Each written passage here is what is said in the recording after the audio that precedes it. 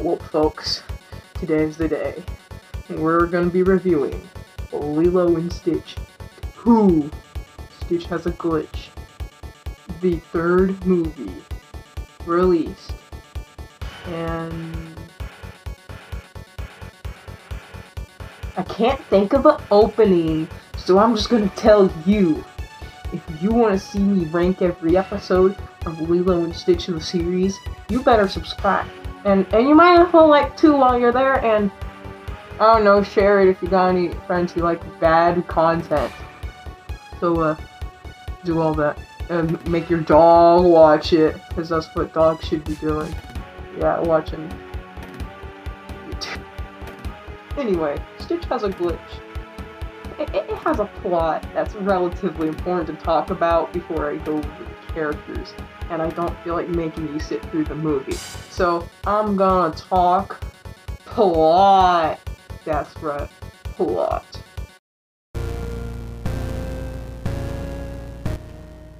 Okay, so this movie has two major plot points that we gotta talk about. First, we're gonna talk about a dog glitch. That's right, Stitch does have a glitch. The glitch causes him to act out and be mean. But he only bees mean when it's convenient to the movie. You might ask, that don't make no sense. You might be thinking that. But a big part of the movie is Lilo and Stitch will fall out because Stitch is so mean, right? But Stitch is only he only glitches when he is in proximity to her, right? There's a scene where he like goes out and does good deeds. He doesn't glitch once, but the second he sees her, he he goes berserk. He goes insane. He he starts shooting laser eyes or something. And he, yeah, he glitches and stuff. Also, the source of this glitch doesn't make any sense. So apparently, Jumba didn't finish charging Stitch's molecules. I don't know what that means. I'm not a smart person. Which is apparently very important. It means he might die because he didn't finish him. Okay? That's so important that he didn't mention once in the first movie or once in this movie until he until like it's literally is gonna happen and it's game over. And that don't make no sense at all. I have no idea why he doesn't tell anybody, but that's the movie for you, you know. That's, that's the movie. You know who else has a plot line? Lilo. Unlike last movie, she got some stuff to do. Okay, so Lilo, she's in a hula competition, and that's like a Hawaiian interpretive dance or something. So uh, yeah, that's cool. She, she, she's got to do it. But her mom is very good. She's goaded at dancing apparently, and uh, she's like all sad because she doesn't think she can do it that good. And that, that makes me sad. So, so. And that was the quickest overview I could do for these plot points. Was very fast. So uh, now we're gonna talk about the characters, the goats. The goats! First up is Lilo, because I've started with Stitch two times in a row, and I'm sick of blue. It's blues everywhere. Like, I'm showing B-roll footage of my living area, it's nothing but blue. It's, it's nothing but blue. So, uh, yeah, we're gonna talk about this bozo. Her voice is actually different this time. I checked. It was very obvious. It, it, it wasn't her, man. He wasn't. It wasn't her. And so it was weird seeing a different voice come out of her mouth. I was going insane. I felt like I was in dreamland. I, I had no idea what was going on.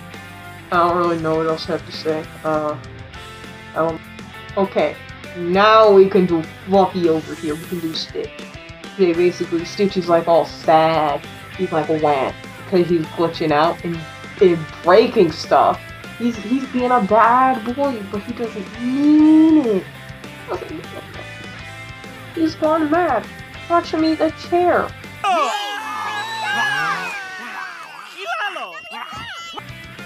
I can't really think of much else to say about Stitch that I didn't mention in the synopsis. So uh, next up is uh, Nani and Billy Guy, also known as David if you're a weirdo. Okay, so Billy Guy, he's a bit of a simp. He's a bit of a son, okay? He's like, Nani, please date me. But she's a little busy because, you know, raising a sister and a dog will do that to you. So Billy goes, oh man, man, we must not be friends anymore. But the Pleakley comes in. The Pleakley knows what's up. He's like, yep, you're not friends anymore. You know what happens?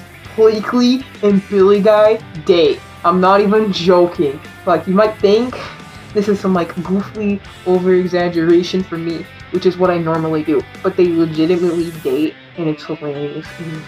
It is hilarious, and um, Pleakley, yeah, they supposedly go on the date to make Nani jealous, but that doesn't work because she's not an idiot. Um, all I'm saying is, I don't buy it. Pleakley definitely, definitely wanted some. You know what? Oh, wait. I love Pleakley so much, man. It's so you might be wondering what Jumbo thinks of this love triangle. He doesn't care. Yeah, Jumbo has no role in the love triangle other than being in a relationship with Pleakley. And uh, um, I should probably get off this tangent that I always get into somehow and uh, talk about the actual movie. So uh, throughout the movie, Jumbo he's trying to get a charging station for Stitch, so that way he can undie, right? Um, and uh, yeah, they steal toaster or something to make it. Don't. We also get a flashback of Jumbo um, creating Stitch, and those are cute. I like those. Those are adorable. So, uh, that's those. What are the characters? Oh, Myrtle. Myrtle. You want, do you want to know what Myrtle does for Hula? She does an advertisement for her dad's business. she really does. I like this movie. Yo, I'm back from the future, and I have a really funny joke. Myrtle, more like infertile.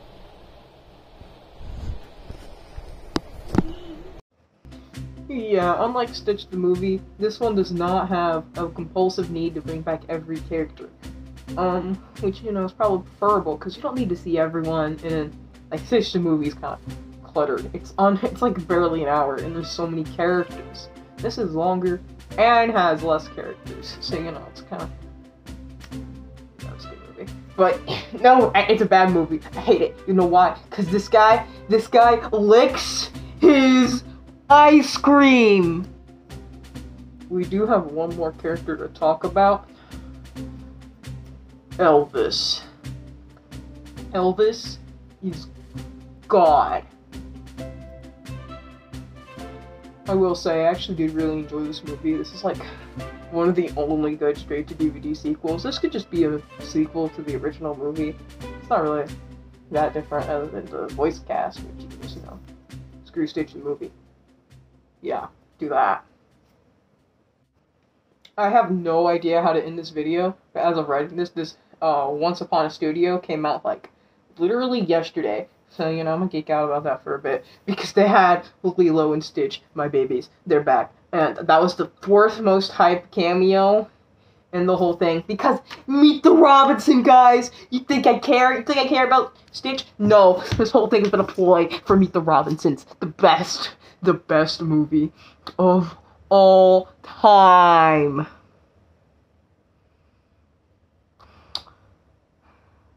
Um. Audio, so. In the nightlight, do you see what you All your troubles are they or what they? Look around you, then you may realize all the creatures are.